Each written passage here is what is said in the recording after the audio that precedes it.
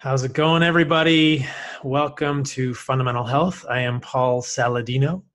I am here with Sally Norton. She has a master's in public health from the University of North Carolina, Chapel Hill, and she is widely known as really an expert on oxalates. And she was one of the first people that I looked to when I got interested in this topic a couple of years ago. The topic of oxalates is becoming, I think, more and more a part of our discussion in the carnivore world, in the keto world, in the integrative medicine health space because I think as people learn more about this, they're they're discovering that it's one of these under-recognized causes of all sorts of issues for health. And by addressing this by paying attention to this people are finding great improvements in their health. And i think sally has a story about this as well. So sally welcome. Thank you for being here with us. It's good to have you on the show. Thank you. It's great to meet you and your folks. It's cool opportunity to talk about my favorite subject. So, why don't you tell us a little bit about your background, how you got interested in this topic of oxalates? And I know you've got a personal story in there, so I'm so excited to hear it all. Okay, well, good thing we have three days. I um, have a degree in nutrition from Cornell University, and I decided I wanted that degree when I was in seventh grade. Uh, and because I I just really thought it would be so cool if you knew what to do and how to live and what to eat, and then you could be healthy and you didn't ever have to get chemo or have a heart attack. Like, who wouldn't want to have life free of doctors, right? So I thought that would be the coolest thing to learn and to be in a position to help guide people towards uh, eating and other lifestyle, but particularly diet, because diet was obvious to me already in seventh grade, the big lever for having a great life. If you feel great and you have energy, you can have the career you want, the life you want, and do what you want. And without that, you know, life is over, basically. And so here I was off being a smarty pants and going to Cornell and getting a degree in nutrition and um, carried on to a master's degree in public health because I work with communities and saw that the biggest problem with nutrition is human behavior and we needed to find a, a lever with how we help people to choose health. So that's been my background, and I have always been a goody goody in terms of lifestyle and diet. I've been gardening since I was about nine years old, and unfortunately, my mother taught me that I should garden Swiss chard because it's a cut and come vegetable. And beets and beet greens grew beautifully where I'm from. There's great soil in central New York thanks to glaciers, and you can just pop a seed in the ground and be a miracle gardener there. And um, I loved my vegetables. I ate a lot of them and continued to do the right thing and learned about vegetarianism and did that for a while and then learned about veganism and did that for a while and 16 years total with those and then i've been 20 years past that and when i switched from veganism i replaced bread and beans with sweet potatoes which are a high oxalate food and continued the idea that I should be cooking greens and eating lots of vegetables. And so that meat went in the center of a plate, still loaded with vegetables. And all throughout, since I was about 12, I've been dogged with joint pain, back pain. I had to drop out of Cornell University for bilateral foot surgery, and I didn't recover well from that. And for 30 years, I couldn't go barefoot or wear heels and had, you know, sensitive feet that couldn't run or play tennis or anything like that until later on when I'm 48 and I'm really learning the oxalate diet and doing it correctly. Within six months of that, I'm wearing heels for a whole day and fine and started to go barefoot and fine. And now my feet can do anything. I could stand on the very tips of my toes. But that's 30 years of delayed healing with my feet alone, let alone the arthritis and the back issues and the sleep disorder that I developed, which was had ended my career in public health where I was writing research grants with colleagues, um, developing proposals, NIH proposals, which are big, onerous tasks designing research in social and behavioral health and i just couldn't do it anymore. And it turned out it was because my brain was waking up 29 times an hour at night.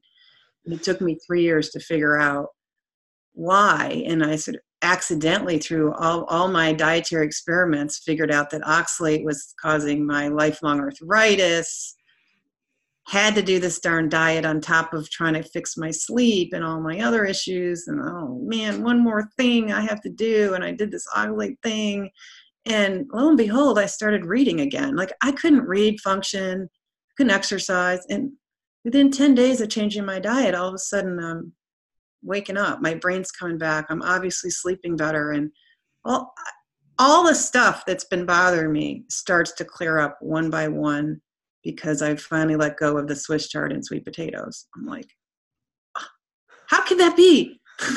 I'm a health professional. I'm supposed to know stuff. I didn't know anything. It's just blew my mind. They're supposed to be healthy foods. And I mm-hmm. mean, you know, I'm in the carnivore world now, and I've discovered this carnivore diet over the last year. So, one of the things that's been super fascinating to me is the idea that plants don't want to get eaten and plants have toxins in them. And that's why I think the oxalate discussion is so fascinating. I think that of the plant toxins, oxalates have got to be one of the most important ones, if not the most important ones. I mean, especially when we hear stories like this, it's just so striking that, you know, for you, you had arthritis in your joints, you had back pain, you had foot pain, poor recovery from surgery, and even poor sleep. And then when you discovered this, all these things started to get better. And so I think this discussion is going to help a lot of people. So, how did you, I mean, how did you discover this? Like, how did you stumble upon this? Like, were you just, it's just such a crazy thing. I mean, nobody hears about oxalates, you know, nobody knows that Swiss chard and brassica vegetables and rhubarb and kale and, you know, beets and almonds. And I mean, the foods are myriad and we'll go into the different foods, but how did you hear, what was the, when did the light bulb go on for you? Well, uh, you know, we really have the internet to thank for all this learning that we're doing now. And the, the credit goes to a woman who founded something in North Carolina, not far from the university where I used to work, called the Vulva Pain Foundation. That's female crotch pain, right? There's a whole foundation that's been devoted to educating people about oxalate and testing foods for oxalate content for 25 and a half years. This one woman has been devoted to this. And so she has a small website out there that came in very handy when my Dr. Google husband, who any ache or pain or concern, he's right to Dr. Google to find the answer. And I had been going through several days of my own crotch pain that was just driving me crazy. And I had this outburst at home. I'm like, oh man, could somebody cut them off because I don't need them anymore. Of course, my husband heard me say, get rid of my genitals. and he's like, on Dr. Google, and he finds the Vulva Pain Foundation. I'm like, what's that? I, I had no idea she existed. And here she was barely an hour from where I used to live and work.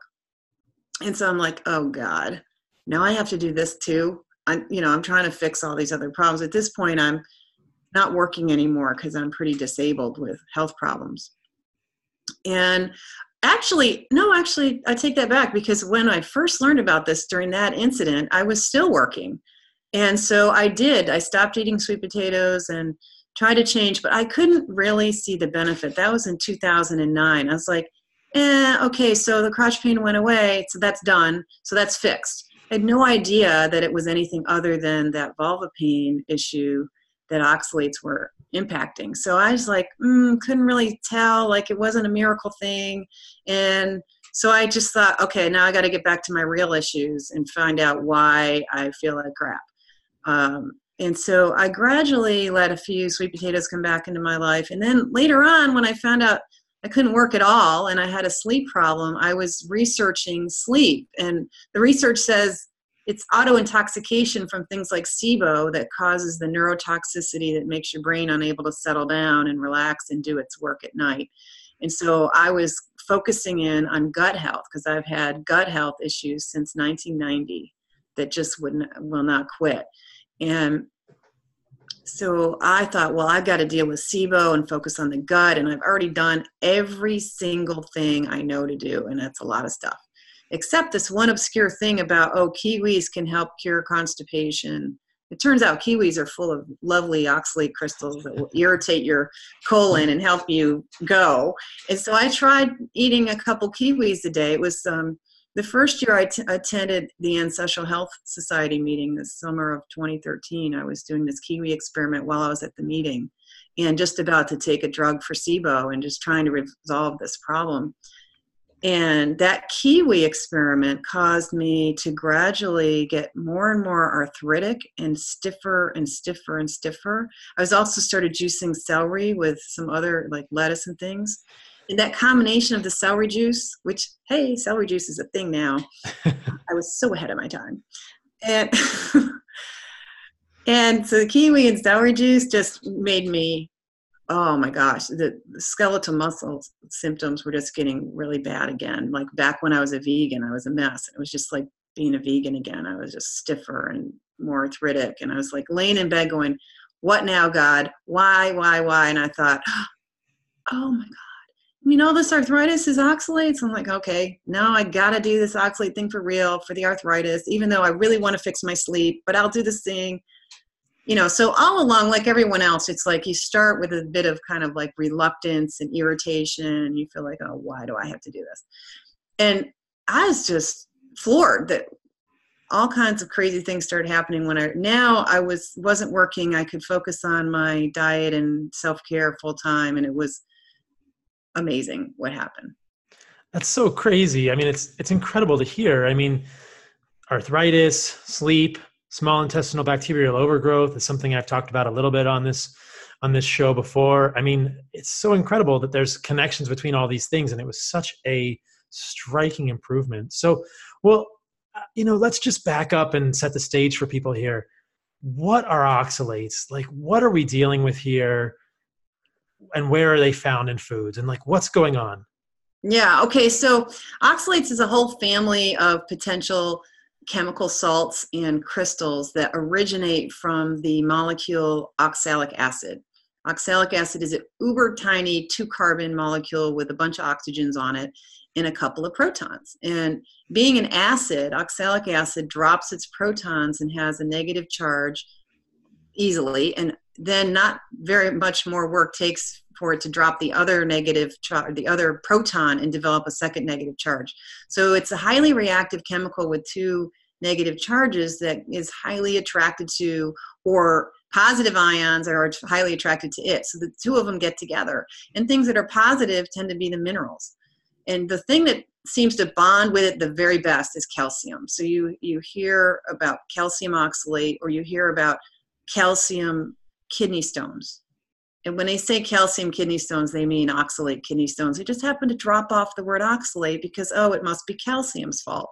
So calcium gets like grabbed or grabs oxalate and gets transferred from being a nutrient to being pretty heavy duty toxin in the body and gets the blame for having married this is like getting in trouble for marrying an alcoholic like and so you hear about calcium causing all these problems in the body but the real troublemaker probably behind calcium especially um, in the many ways that we find oxalate in the body and plaque in the arteries and osteoporosis happening and arthritis and kidney stones in particular uh, is oxalate grabbing the mineral probably from your blood your blood or your food because the stuff that tends to get that we're we're getting oxalate into our bodies principally by food although you can actually breathe it in in pollution because it forms spontaneously in polluted clouds when we're burning fossil fuels and burning plastics and some of the weird compounds we put into the atmosphere,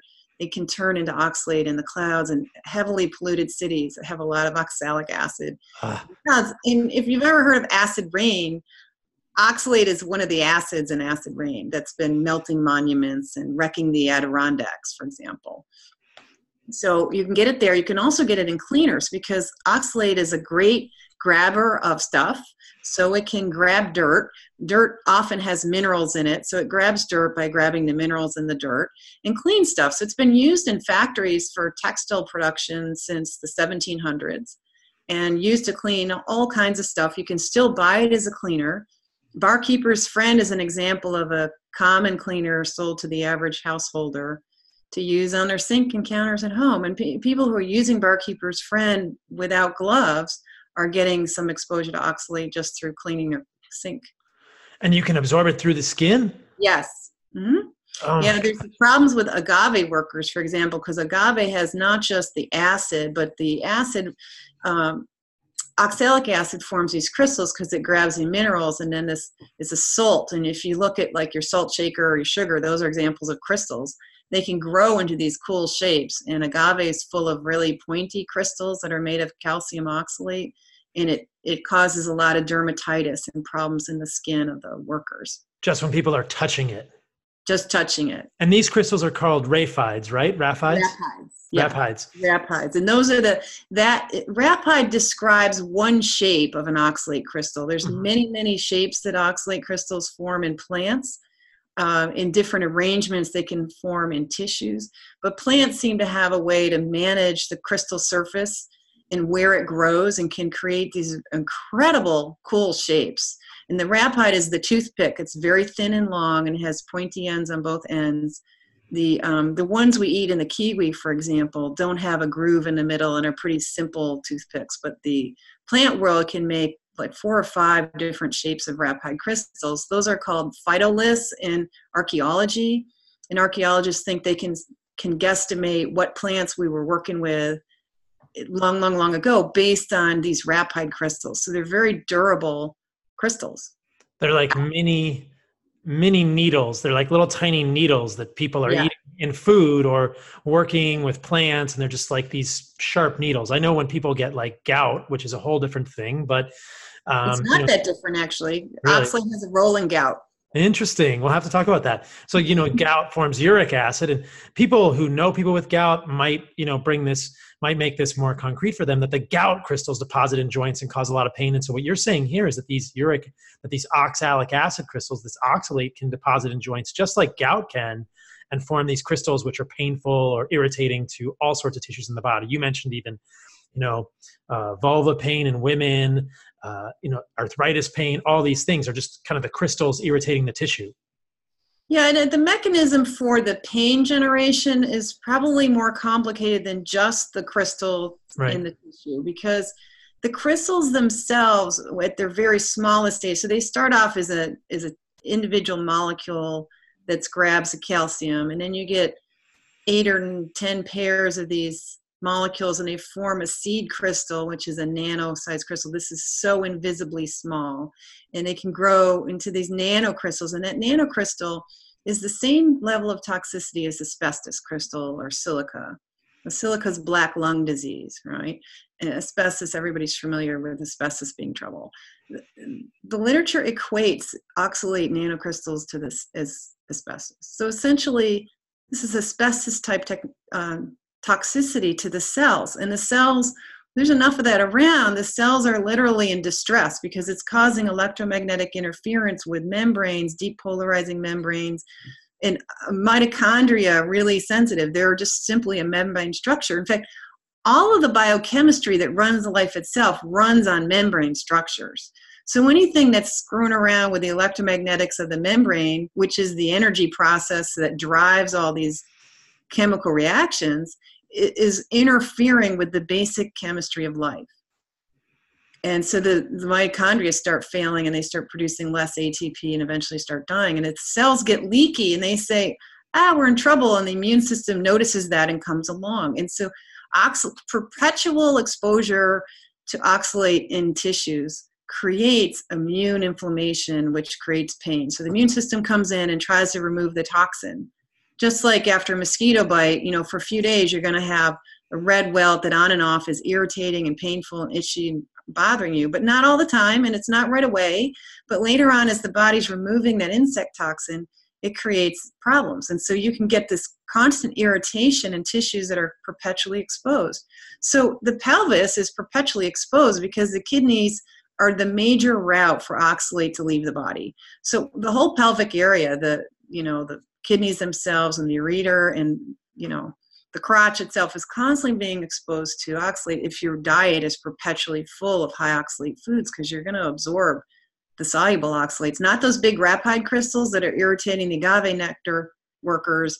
Those are just going to act like sand and glass shreds going through your gut which in itself is electromagnetic and physically sharp and pointy and irritating. So, okay, so we're going to eat shreds of glass that we won't absorb, and then there'll be these ions that we can't absorb, or these individual molecules, or these nanocrystals that easily float between cells, are really tiny.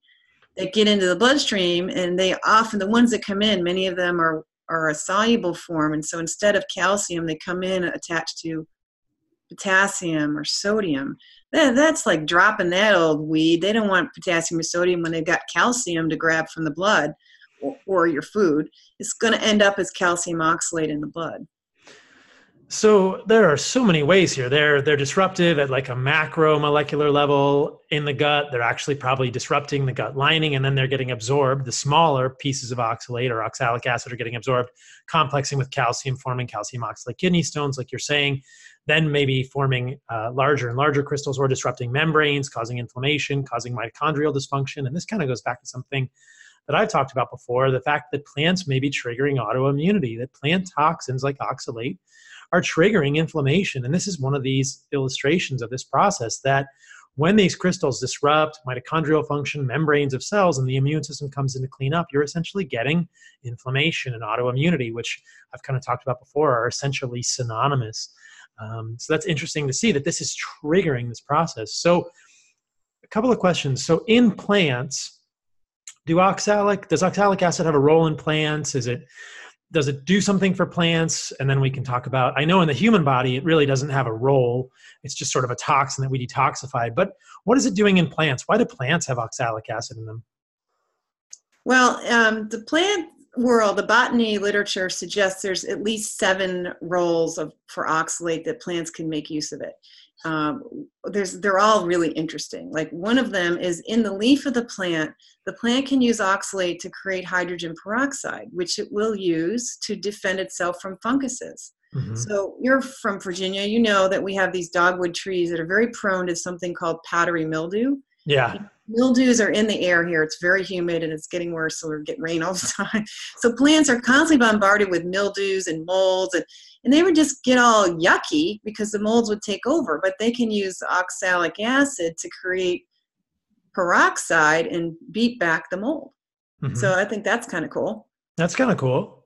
Another major use is to pantry calcium because calcium is just a sucker for oxalate. So if the plant makes oxalate, oxalic acid, the calcium is there because the soil is full of calcium and the plant can easily get a hold of calcium and needs to put it in the seed. You got to have some calcium in your seed so that when you germinate, you've got calcium to run the the you know the biochemistry of creating creating amino acids. So as the cell is germinating, it needs that calcium. So when the cell germinates, it can split off the oxalate and have the calcium. But a nice quiescent form of calcium is to make calcium oxalate. Um, and there's many others, including these crystal shapes. There's a nice little study, a couple of them, that demonstrated that the raphide, which is really, I mean, I describe as a toothpick, and you had another word for it, but they're really arrows and they're a quiver full of arrows. The way the plant produces them is in bundles of like 200 or 500 of them, all bundled together like a whole quiver, and shoots these out deliberately to to penetrate the cells of whoever's eating them. So it can penetrate through at least one, probably two layers of cells, and brings with it proteases and soluble oxalate. And once you've punctured a cell and you got proteases inside somebody's mouth, I mean, people think enzymes are so cool, you should eat your enzymes. Oh no, you don't put plant enzymes inside your bloodstream. That is not good. no.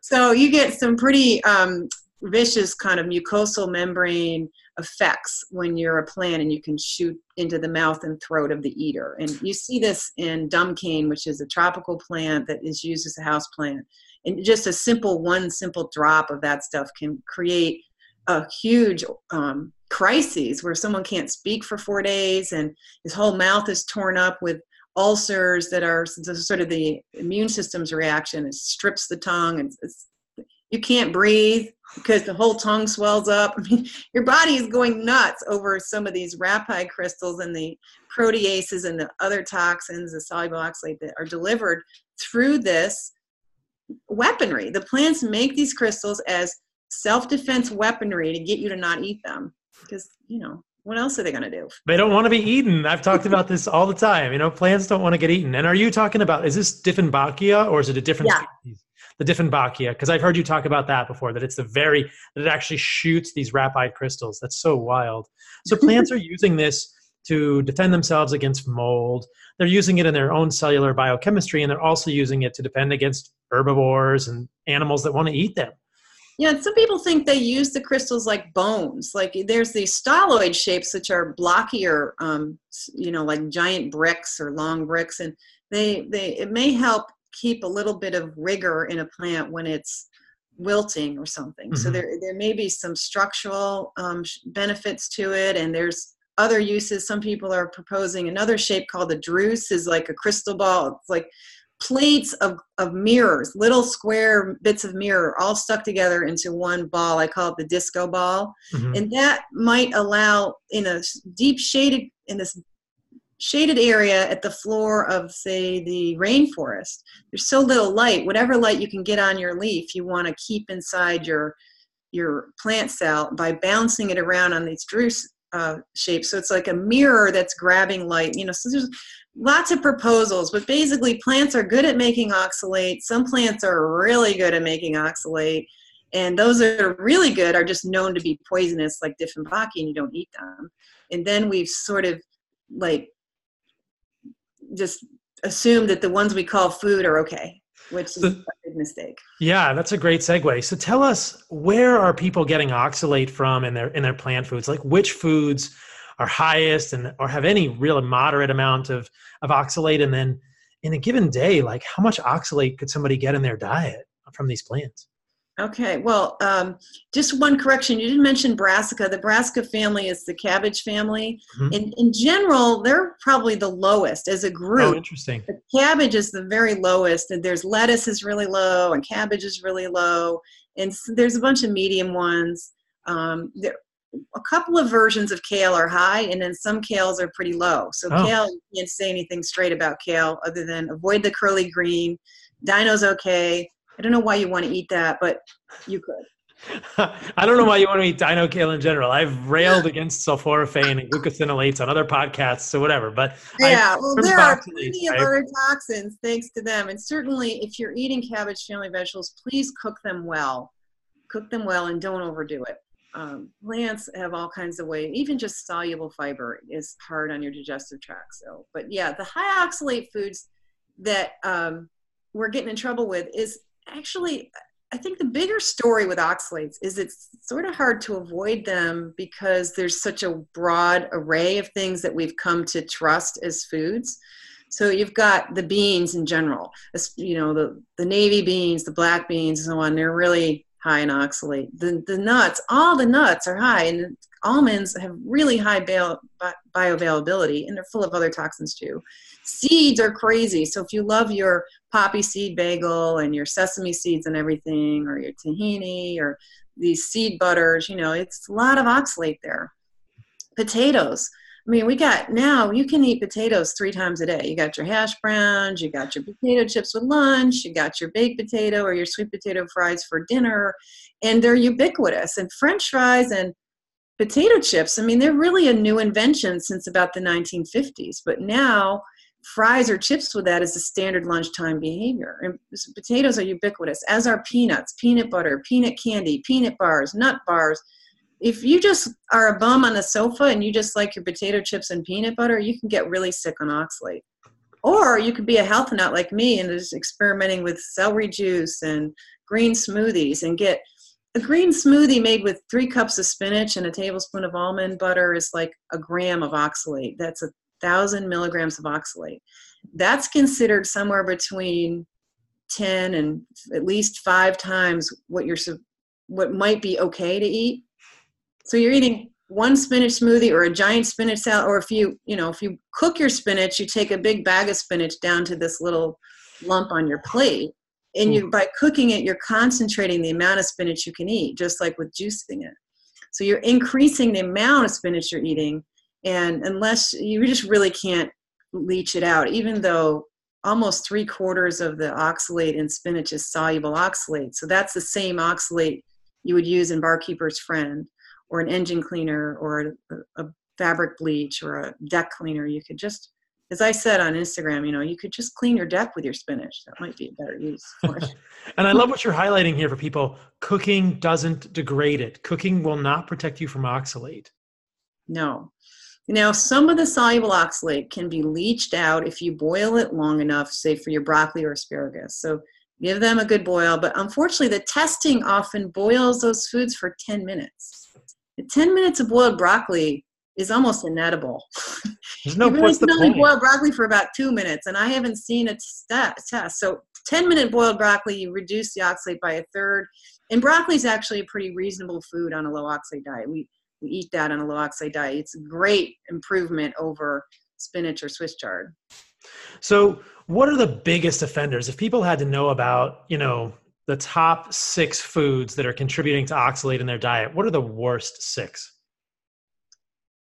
They're the worst six that you eat on a routine basis. And so each person, it's different. For Mhm. one person, it's 20 years of buckwheat for breakfast. hmm For another person, it's relying on almonds for snacks or using almond milk all the time hmm or just being addicted to peanuts. I think peanut butter and peanutty things. Then there's chocolate and there's tea. So some cultures, you drink tea multiple times a day since you're like five years old um, and it's or it's potatoes. It's it's which one you eat. Nowadays, you can start going crazy with turmeric, whole whole root turmeric. You can buy it in like these quart jars and start dousing that. So there's lots of ways. It's like every person has their own way of doing it. Right. Um, so you got to keep that in mind. Yeah, I think the the worst ones in terms of it gets into your body and messes you up are sweet potatoes, potatoes because they're so common. Swiss chard because it's the highest green of all, and that includes beet greens. Beets are really high, so if you think beets are saving you and you're doing them a lot, they could be a problem. I mean, if you love okra, nobody loves okra, but there's probably someone out there who's eating too much okra. So it kind of depends on which food. But I think culturally, our big problems in the US are peanuts, almonds, potatoes, and spinach. hmm And now we have this celery juice thing going on. Ugh. Not a good idea. So depends on the moment and the person. But I, I personally, I think peanuts and potatoes and almonds really people. Let's let's think about those. So, yeah, I guess I would urge people who are listening, if they're curious, to look at your website and your information where you list high oxalate and low oxalate foods. And I can link to that in the show notes and the description below. And so people need to be aware of where these are and get a sense of how much they're eating in a day. But I love that you're mentioning sweet potatoes, and I'll tell an anecdote about Swiss chard in a moment. But I mean, people always ask me, like, people have a sense, I think most people realize, oh, white potatoes are not good because they're solanaceae, they're nightshade. But then a lot of people always ask me, what about sweet potatoes? Are they okay? And I say, oxalates, like, they're not okay for a lot of people, or you just need to know how much you're consuming and get a sense. And we can talk about that. I, I had a raw vegan phase. I think most people who follow me know this. If they're if they didn't, I just blew their minds. I had a raw vegan phase myself about 14 years ago. During that phase, I had a juicer, just one of these hand crank juicers that I used for hmm. wheatgrass, and and I started juicing things like kale and chard. And I, I, pretty quickly, I stopped juicing chard because every time I did chard juice, I just felt the back of my throat just felt horrible. It felt like irritated and and and when I discovered more about oxalates, mainly through you and a couple of other people, I realized, oh, that's just that's oxalates messing with my throat. Like no wonder chard doesn't feel good when I juice it and I concentrate the oxalates. So scary stuff. So I love that you well, mentioned. Isn't it interesting though that the food is doing something to our throat, and yet we're like, well, but it's okay because it's good for me. I know. Like you have to have your medicine, not not like, oh, maybe that isn't good for me. Like we we're so trying to listen to outside sources about what we're supposed to eat. It's led us to this place of intense confusion about food. We've completely lost any kind of in, intuitive or any ob- observational power. Like uh, you know, you go on a vegan diet and things start falling apart, but it can't be your diet, so it must be the stress in your life. Exactly. Or or you're not getting enough pumpkin seeds. or You know, you need more, I don't know, meditate. Who knows? It's always more in, in our culture. It's, Yeah. it's always, what am I missing? What do I need more of? What should I buy next? Yeah, it's crazy. And I mean, this is why carnivore diets and ketogenic diets and diets that think about these kind of things are so interesting and disruptive for me because it challenges the mainstream idea that all plants are good or that some plants are, you know, or that plants are valuable or I mean, I know there may be some plants that are less toxic from an oxalate perspective and we can talk about that, but it's such an interesting concept and I think it's really going to blow the lid off people's perceptions of plants and where to get nutrients from. And I mean, I've talked about this on their podcast, but I'll just mention it now that, you know, from my perspective, we don't see the same sort of thing in animals. And so I'll just leave it there. We don't see toxins and things in animals that disrupt our biochemistry the way we do with plants. And this idea that plants are not wanting to get eaten. And you have to be very careful when you're eating plants. And this oxalate thing is so fascinating. So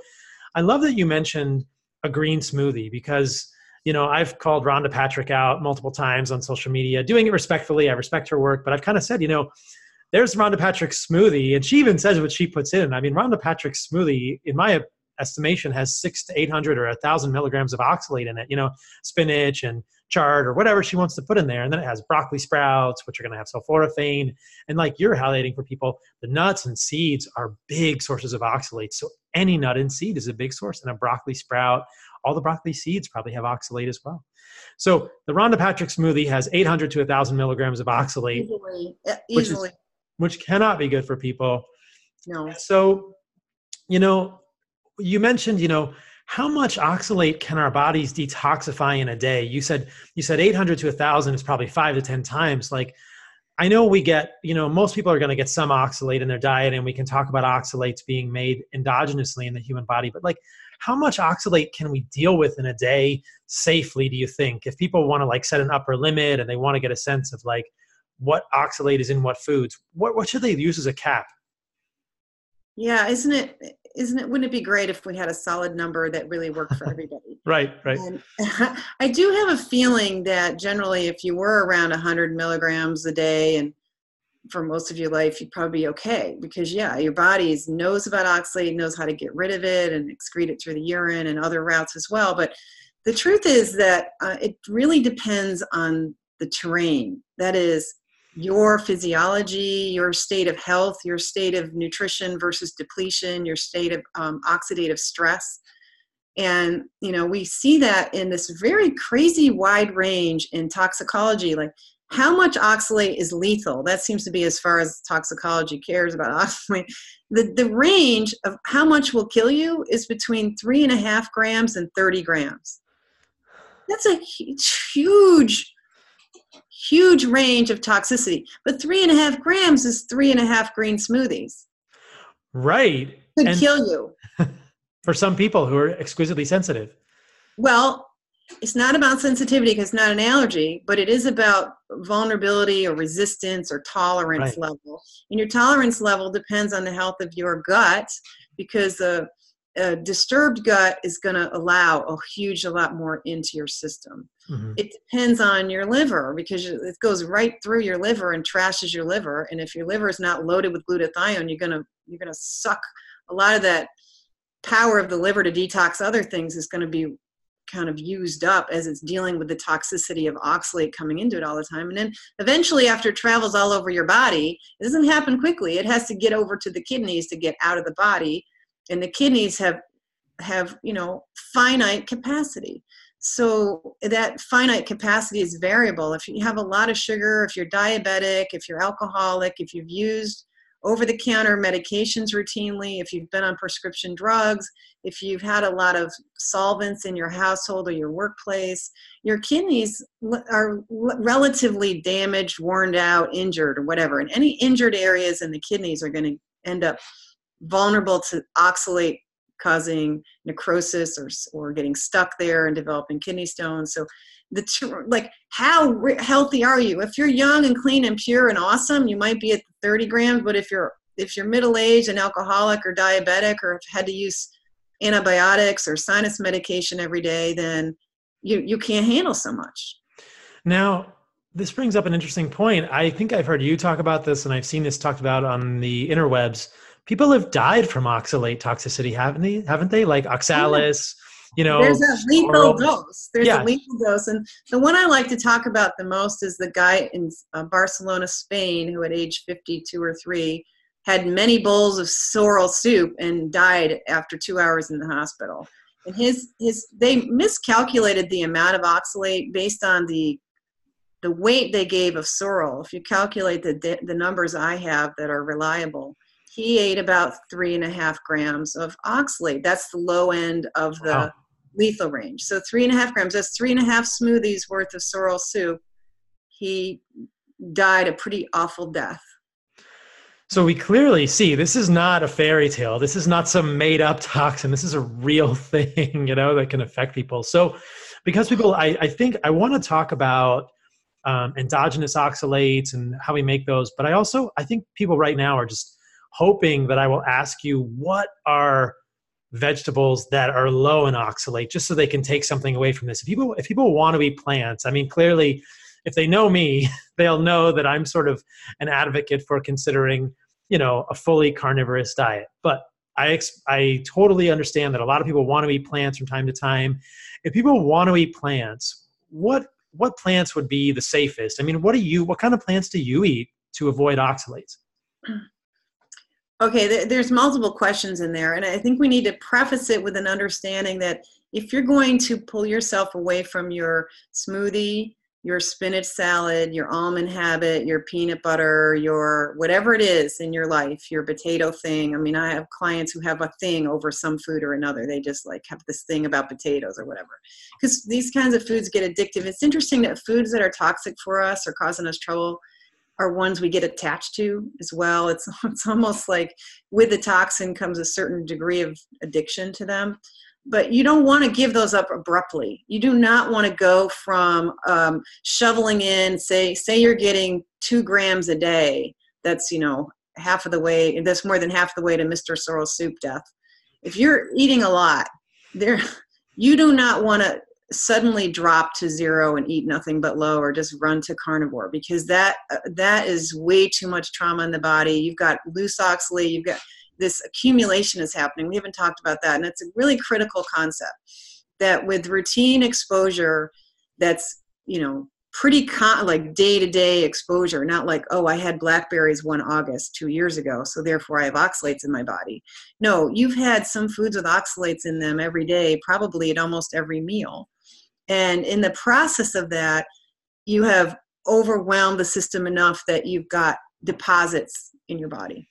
So if you suddenly shift, all kinds of trouble will happen. We need to come back to this issue. But if you're if you're gradually migrating away from a high oxalate diet, you want to start reducing quantities and then substituting instead of spinach, you can have watercress and arugula, and all the lettuces are low, and some of the other kind of escarole and stuff. So um, seeds, if you got a seed and nut thing, the only one left for you that's really reliable is the pumpkin seed, mm-hmm. sprouted, please. Um, s- sunflower seeds aren't too bad. So if you need some seeds or nuts somewhere, you can actually replace in a lot of recipes pumpkin seed and pumpkin seed butter surprisingly works really well in place of sesame seeds, which are quite awful. And um, so on what else? Let's see, instead of potatoes, you could try cauliflower, which is quite low, and turnips are pretty low uh, for white vegetables. And actually, um, turnips taste really good, and rutabaga is really good. And you can use celery root too. And celery root cooked with rutabaga is really cool. And all three of those you can turn into like French fries or mashed, or you can do a lot of creative things with those vegetables. And honestly, they're not horrible. I always thought I hated rutabaga, but I got people who just love the way I fix it, especially when I combine it with celery root. So, in a way, as you get going with this, you get into this culinary exploration and start having fun with uh, some other foods that just aren't cool. You know, this is like the uncool side of the gym. We've been playing with the cool vegetables over in spinach land, but if you go to the dull side, you know, the boring geeks on the other side are the rutabaga and the turnip and so on. But there's a ton of plant foods that are reasonably low in oxalate, and you could do very well. I have people who are vegans and partial vegetarians and things that are doing very well on those foods. I, I do think there is a tendency to get further and further away from depending on vegetables because of this autoimmune side. I think if you're really toxic with oxalates, the chances of your immune system being hyper reactive to all these plant chemicals and the fiber, you tend to like do gradually working away from plants generally tends to be a therapeutic path for a lot of us. And you ask what I eat, I have, I've been um, actually 100% pure carnivore since April 1st, but I've had over a year of being um, you know, like lemons plus meat plus butter plus cheese and raw milk and raw cream and coconut products for a year. I mean, I had, I make vegetables for guests. I, I don't bother with them anymore. And I, I do not advise people to do that from the beginning. Please don't do that at the beginning. Eat a high oxalate diet. Do not do what I'm doing or do not go full carnivore. This, that's a worthy thing to consider trying because the carnivore diet is solving one of the big problems that oxalate causes, and that's a huge depletion in B vitamins. And I, I don't know if it's enough, though, to solve the depletion in electrolytes and minerals. The process of it coming in is stealing electrolytes and minerals. The process of it moving around is causing cells to waste minerals that get flushed out of your system. The process of getting these oxalates out of your body once you stop adding them, the body is ready to get rid of them, can cause the wasting of minerals and electrolytes. And so there's a need for a lot of nutrients that are bioavailable, safe, in the right balance, in which we don't necessarily know the specifics of your machinery and physiology. And so by providing meat, it's a way to get some of these nutrients back into the system. And the, the carnivore, the reliance on only meat means the volume of meat and nutrients goes up in your diet. So there's definitely a potential therapeutic path moving towards the carnivore, but that's not the place to start. You know, it's interesting. I didn't even know you were on a carnivore diet. For people listening to this, you know, I just I was like, "Oh, that's awesome! You're on a carnivore diet." I didn't even know that. I just I knew that you were just someone that I would have an awesome conversation with about oxalates. So it's really interesting to hear that you're now doing a carnivore diet. It's weird. It's yeah. all of us ex-vegans and vegetarians are like totally like what? But Amber O'Hearn deserves a lot of credit. I met her at Ancestral Health in 2017 when I gave that oxalate lecture that helped to kind of spawned the discovery in this ancestral world and the carnivore world was really spawned i think by that talk. And and she's been doing it for you know over a decade and she's still upright so. Oh yeah. Amber o'hearn is a great resource for people and i can link to her stuff in the show notes as well.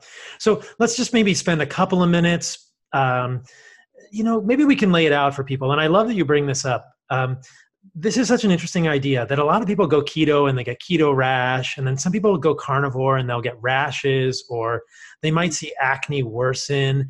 And you know i think it was you and maybe elliot overton who kind of raised this idea that like is this oxalate dumping? And so this is a whole other nuance of this whole equation. And so mm-hmm. I, I want people to make sure that they they hear your recommendation. People often ask me should I just go straight carnivore? And I usually tell them, yeah, just do it. But maybe I should say, well, it depends how much oxalate you had, yeah. you know. And so maybe just walk us That's through. My, I really, really, really, I want to see the carnivore thing be really tested out here and see how good it is as a therapeutic tool. Yeah. But we could be messing up that therapeutic tool by not recognizing oxalate is in the picture. Mm-hmm. Awful lot of people who are willing to go and just meat. I mean, I love to create beautiful meals with all these beautiful colors of vegetables. I like to cook and grow. I have a huge garden. Like a gardener of me, and like there's so many. Like I, I would want to see more vegetables in the diet personally, but um, I'm getting lost on this because there's so many tangents that I could go. the uh, we we need to pay attention to oxalate because of the fact that the people who are doing carnivore are sick the reason they're doing it is because they got stuff that has been dogging them and nothing else is working. And it's like a last resort diet for the creative, the thinking, the, the people who are pursuing solutions, the people who are not willing to lay on a couch, are not willing to throw in the towel, but they still have issues that are driving them crazy. So they're willing to do this meat only thing. You know, so I think there are particular nose to tail, nose to tail, not just meat only, nose to tail. Yeah, I, well, I'm a big nose to tailer because I gotta eat nose to tail. I, have been, Good. you know, working with agri- sustainable agriculture for 14 years, maybe. I, I got an NIH or no, um, a federal grant to interview local producers of animal products in 2004 and produced a guide and have been promoting whole animal purchases for since then i buy my meat as a half a cow and a whole pig and i love it so i only need to make a few food purchases a year like fill the freezer a couple times and go visit the farm and have great friends who are farmers, and that's simple shopping. and it's awesome. really great. Um, so, nose to tail is wonderful because the organ meats in the liver mm-hmm. are like vitamin pills. And I think for the oxalate thing, it's helpful. But again, if we overdo the vitamin pills, we actually empower the body to do this process of trying to clean out. And the, the person who deserves credit for recognizing that oxalate accum- accumulation is happening in most of us and that when you switch your diet, the body starts trying to expel and excrete oxalate, and it can create all kinds of mayhem and symptoms. That's Susan Owens' work. She's worked with autistic families and studied autism and the biochemistry of sulfates for over 20 years and found herself in a position to help some families get tested and sort of discovered that you can use the low oxalate diet to help autism and help the families of autistic children. And in that group there was all these rashes and funny reactions and just like oh my really serious stuff that looks life threatening and, and is uh, quite scary can show up after you stop putting oxalates in your diet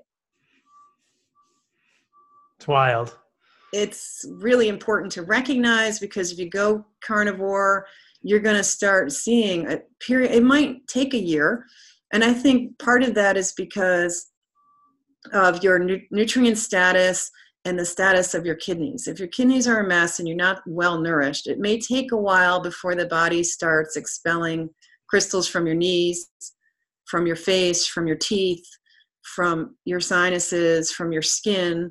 Um, and some people get immediate reactions. I have a client now whose thyroid or, or tonsil area and mouth area is literally expelling crystals that look like those raphides, only they're a little bigger than a raphide because you can really see them. Because raphides are so little, they're basically invisible. But these are like mega raphides. They're long shreds of glass. And she'll get a panicky feeling where she's just completely freaking out. That's the neurotoxicity. And then she'll get this intense pain and pressure in her face, and then this sort of pink and swellingness, and then this crystal will come out. it's like the body's literally expelling these large deposits, which is a safe way to do it. And this is the body getting rid of it. It either has to dissolve it down to ions and nanocrystals and move it through your kidneys, or just expel it out. And some tissues are so alkaline they can't really dissolve them anyway. And so you tend to see the whole crystal expelling in the eyes. You'll see people who have really watery eyes. It has the water in the eyes has sort of gritty feeling to it that's crystalline. Some people literally say crystals popped out of my eyes, or getting eye styes or other things after you go on the diet. Getting intense sinus pain. There's a lot of calcium here, a lot of circulation. Teeth pain. People will get such intense teeth pain they'll just want them pulled out of their mouth. That'll come and go. Sensitivity and so on. Jaw pain, masseter issues. You, know, you could get all kinds of symptoms after you stop eating the oxalate just like you get symptoms two days after the bug bit you. You still get the itchy rash stuff. That's the body trying to expel the toxin, the insect injected in your skin. Well, these weird reactions that can happen a year, two, three years after you go low oxalate, you can still have waves of hip annoyance or back pain or skin issues or tennis elbow or you know trick thumb or trigger finger all kinds of stuff. Those are oxalate related often and they happen whenever the body gets around to trying to clear that toxin from that tissue. So this is awesome. I think let's just i think let's just you know dig into this a little bit for people. I know we're getting close to the end here but i just want to give people stuff they can use you know i think that it's probably clear to everyone listening that oxalates are causing issues and they want to i think a lot of people probably want to go carnivore or they want to stop doing oxalates and I love that we're talking about oxalate dumping because I get a lot of questions about keto rash and you know carnivore rash, and I think that a lot of these things could be oxalates coming out. You know, it's interesting. I've noticed a sty in my eye for the last few months, and I never thought about it. I was like, "What is going on there?" And now you just made me think like. Wonder that's my oxalates coming out because it, it is, and I, that's one of my major symptoms. And I know when I'm dumping because often they swell up again. An easy cure for that is some regular old coconut oil on the end of a q-tip mm-hmm. and just run that along the lash line at bedtime and then in the morning and that'll take care of it that helps to dissolve the whatever's clogging that gland and helps as an antibiotic um, and it'll clear those styes. But i had such bad styes that we almost missed a family vacation. And i went to the eye doctor and i'm like he's giving me the the cream and that stuff never worked. He told me i should microwave a potato and put a hot potato on my eye. That more oxalate more oxalate on your eye.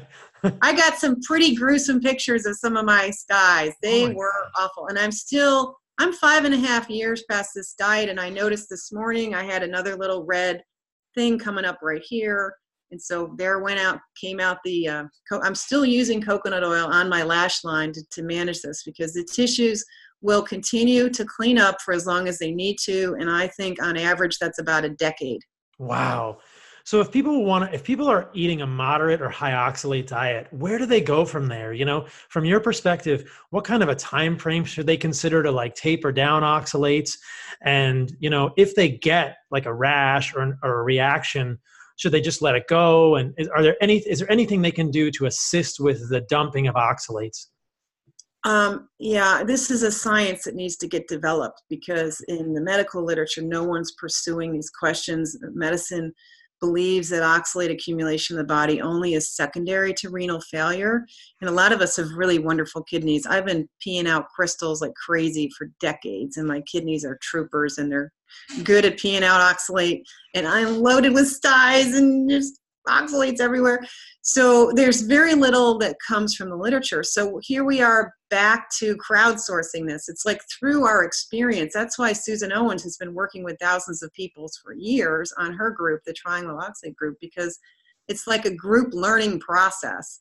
And that's why I do what I do. My real interest is to understand the science. And the reason I work with clients is that's the best way to become an expert at this is to know people very closely and individually, watch these cases, learn from each person, to be able to step back and have that perspective when we interpret the literature. So I split my time between reading the literature, trying to explain this to people, trying to write about it, and then teaching it and then working with clients because through our collective work we have to pull together as a community and ancestral health and learn this together um, and then convince the researchers that this is for real and get more dollars and more grants funded so people can really do this work.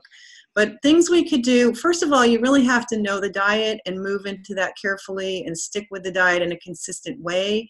If you go back and forth, you're just increasing your sensitization, sensitization to you know unmasking your tolerance or intolerance i actually think the body gets a little more perturbed after you go low oxalate about when you start throwing oxalates back in again. And i think going back and forth is actually not helpful. People will do that to, in order to figure out if it's really a thing for them. I've, I've had clients who've kind of fooled around for a couple of years wanting it to not be oxalates and then they they keep fiddling around and finally they come back to me and go yeah it's oxalates. It's like, uh. if you can if you can just kind of think about this more or talk to somebody like me or Susan or somebody who knows about this and convince yourself sooner that you should stick with the diet and do that consistently. That's really important. And then we have to recognize this sort of mayhem in your metabolism that has created autoimmune and sensitivities and allergies and electrolyte disturbance. We need electrolytes. We need potassium. We need we need all kinds of things like magnesium and minerals and so I think when the oxalates are moving out, it really disturbs the electrolyte balance. You're going to see AFib, you're going to see changes in pulse, you're going to see heart palpitations. That's a sign that they're moving and they're they're you're low in potassium and electrolytes. So we mm. need to be watching for those crises. Some people end up in the emergency room with a huge electrolyte crash and T wave inversion and so on. Whoa. So we have to replace, oh, it's for real. I mean, people feel like they're dying. Those of us who've really overdone the almond bread, for example, I luckily I never did that. Oh. But if you've been eating almond bread every day, you are in trouble. And you need to be careful and get electrolytes in there. We usually use the citrate form because citrate is very helpful in keeping these crystals from reaccumulating into stones. They citrates lay down on the crystals and and sort of have this electromagnetic pull, I think, that makes the calcium bonds weaker and allows the crystals to crumble apart easier. So you can just pee your kidney stones out if you have enough lemon juice and citrate supplements and a low oxalate diet. You can just release and clean up a kidney. I've seen that with several people. They just start after 15 or 16 kidney stones and multiple um, you know lithotripsies and all these kind of harsh treatments they could just use lemons and and potassium citrate and etc so potassium um, citrate magnesium citrate.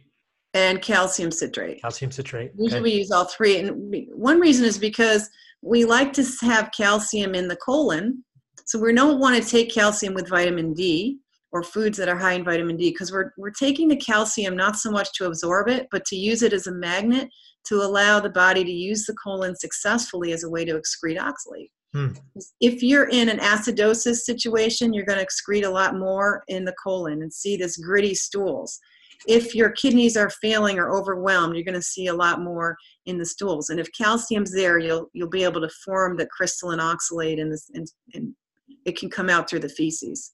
So um, yeah, it's really interesting because somebody who is in a metabolic crisis and acidotic, you're going to see. So the calcium will help pull it out through the feces. If there's nothing there in the colon, normally there would be Oxalobacter formigenes or bacteria that could consume that oxalate, but at least 70% of us don't have that.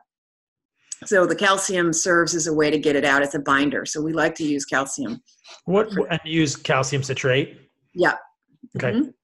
Yep. So all the citrate forms, you probably could take zinc in a citrate form and a multi-mineral, a decent a multi-mineral is helpful.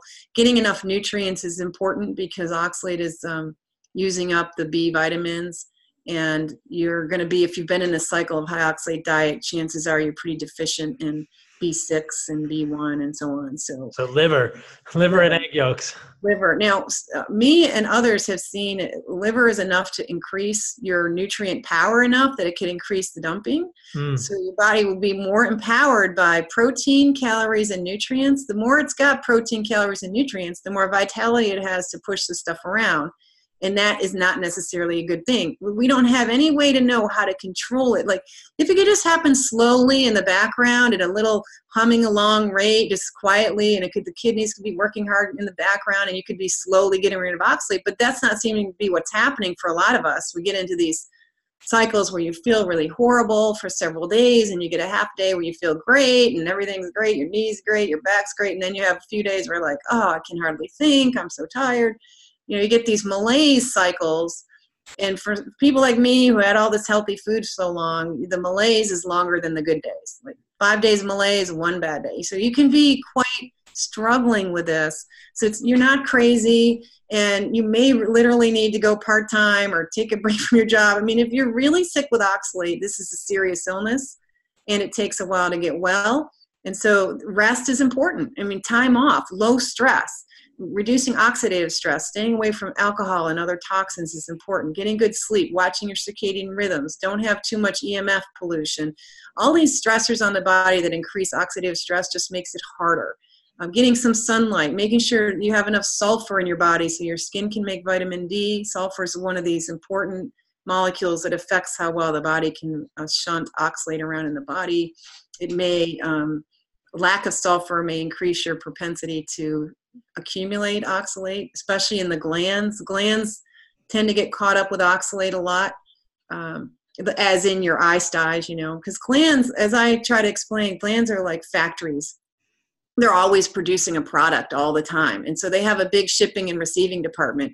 And part of shipping includes receiving, like they're constantly sweeping in materials, raw materials to make their product. So glands, I think, just metabolically are pulling in so much material all the time, they tend to get caught up with oxalates.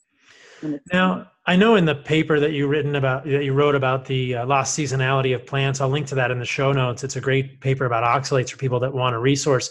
You mentioned that something like some astronomical number, like 85% of thyroids above the age of 50, uh, something have oxalate crystals in them. It's crazy. That makes it normal, doesn't it? I know. All right. I wanna... So people have to recognize this is normal. Like we're full of oxalate and it's normal. and it's normal because of our lifestyle, our culture, our diet. Just like it was arthritis was normal in Egypt from their weed and high oxalate diet and problems. Our health problems are normal and oxalate is a big player in our problems. I just want to ask one more question, then I'll let you go. I don't want to keep you too long this morning. In the carnivore world, I've talked a lot about methionine glycine balance. I am really interested in excess methionine and how that's been shown to be damaging. And ultimately, I think people need to be testing glycine levels and glutathione levels. And glycine is one of these amino acids in glutathione, which we've talked about. Do you have any concerns about overconsumption of collagen or overconsumption so the, the issue here for people is that hydroxyproline is one of these amino acids in collagen. And one of the path, one of the pathways of degradation of hydroxyproline is to oxalate. And so the question becomes, you know, if people are eating a lot of collagen, could it create too much uh, oxalate? Is, it, is this amount of oxalate that someone is making from hydroxyproline just small in comparison to plant sources? Do you have any concerns about excess collagen or even glycine through the glyoxyl pathway can go over to oxalate too? Any concerns about these issues? How do we think about this from like a nose to tail perspective? Yeah, we don't have a lot of really good answers. Uh, a guy named John Knight, I think his name is John, uh, Dr. Knight is a researcher who's done some work on the endogenous production yes. of oxalate. And, you know, he showed that if you increase just animal proteins in general, you don't see any change in oxalate. If anything, it's almost a little lower in the urine, just animal foods in general. But the amount of oxalate or the amount of gelatin that can increase oxalate in the urine, and, and I don't know what kind of patients, like like terrain always matters and right. the model of the study really matters, but it you know, he claims that something around the amount that you get in a package of gelatin, about five to seven grams. I think he's saying five grams cause oxalate to go up in the urine, mm-hmm. which I think a packet of gelatin is about seven grams. So that's the amount in a cup of jello or a good gelatinous broth, it would be like three quarters of a cup. So right. I always tell my clients that, you know, stick to a half to three to a cup of gelatin a day and you're probably fine. You mean like bone broth? I'm a fan of bone broth because my vegan years caused my my height to shrink an inch and a half. And when I went off being vegan, I started doing bone broth and I got an inch and a quarter back thanks to bone broth.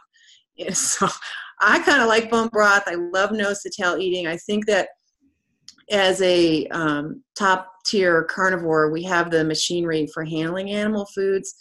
Um, but I do think if you've got an oxalate problem, especially if you're diabetic, because it's really, I think, endogenous production going on inside your body, which isn't something we didn't have time to talk about. But if you're high, if you have a lot of sugar in your diet, then you have more glycated proteins, and processing those increases this problem. More oxalate probably in the diet, the oxidative stress that comes with disease and other places, um, and being deficient in nutrients. So uh, you can tolerate gelatin and so on if you're you're not diabetic you know so there's this kind of context of the diet. Say probably a ton of bone broth for someone who's eaten a ton of sugar is probably the worst combination. And every once in a while people will tell me they can't do bone broth because they think they're sensitive to histamine and i always wonder you know maybe this is just an oxalate thing. Maybe it's getting overloaded and I think that there are lots of benefits to collagenous tissues. I don't think that's debated. It's just, it's probably going to be an individual basis that people are going to find this mm-hmm. methionine glycine balance. The other thing I'll mention is that for people that have sensitivities to bone broth or collagen, I often recommend just glycine as an amino acid. And I know that glycine can be metabolized, but it seems to be less so to oxalate. So, yeah, I'll have to do another podcast about endogenous synthesis of oxalate. My sense is that that's going to be much less than all of the plants that that you're going to get some and you're going to be able to tolerate. And you know you're eating animal foods is going to create oxalate because there is hydroxyproline in animal foods and we probably get rid of it. I'm familiar with his research um, the, you know uh, knight's research. And what i was looking at recently was that when they did these gelatin supplements the blood levels of oxalate did not increase but the urine levels did. So I wonder if it's you just see a lot of change in blood levels of oxalate in general. The body doesn't like oxalate in the blood. Right. This is one reason why it's an invisible disease because if it was easily tested in the blood, we'd be dealing with it because that's how we do medicine. Everything's about the plasma now. But it, you know, we've known since 1823 that oxalate doesn't hang around in the blood. One of the earliest studies it just doesn't and that's one reason it's not popular in medicine because it's not convenient to measure. It's not it's hard to understand what's happening in the complicated physiology. It so. is a complicated physiology. Well thank you so much for being here. I think this has been an awesome discussion. I think people are going to get a ton out of this. We'll have to do a part two. I think people are going to be super excited to read more of your stuff and to reach out to you. Where can people find you? How can they find your information and learn more about oxalates in general? well, I have a website called sallyknorton.com. There's a ton of free information on there. You can download my articles from there and you can reach me if you want to have, you know, ask me questions about your own situation personally. I do consults and you can schedule it there. I've started playing around with Instagram and feel free to follow me there. I'm going to um, start using. I'm kind of enjoying Instagram I sort of neglect Twitter and I'm kind of lame about social media. I'm kind of a library geek. I worry about my clients my library studies in my yoga classes, and then I kind of neglect social media. So you have to forgive me for that. and your Instagram handle is Sally K Norton, right? No, the Instagram is SK Norton. SK Norton on Instagram. Yeah. Yep. Okay. So people should definitely go follow you there and they can reach out to you definitely. through your website and stuff like that. All right, great. I'll put those in the show notes. Thanks for being here. I'm definitely going to ask you right now. I want to get you back on for part two. We'll do it soon. Okay, that'd be fun. Thanks. Yeah, for- I have to say we might need a better expert on endogenous production. I think the science isn't really worked out in terms of the physiology, and it's right. just a lot of big question signs in science. And and I think again, learning how to just learn from our bodies, and there's more to discover just from becoming self-respecting there. But I hope we can continue this conversation for many years to come because there's a lot to learn. It's really I, fun. I think it's going to be a big part of the carnivore space, and like you said, I mean. I think there's going to be a big conversation in the keto space because everybody I see on keto is doing keto pancakes with almond flour. And I'm thinking, oh boy, this is a problem. So lots more to talk about. Well, Indeed. coming on. We'll Thanks do another one. Good to see you. Looking forward to the next time. Bye.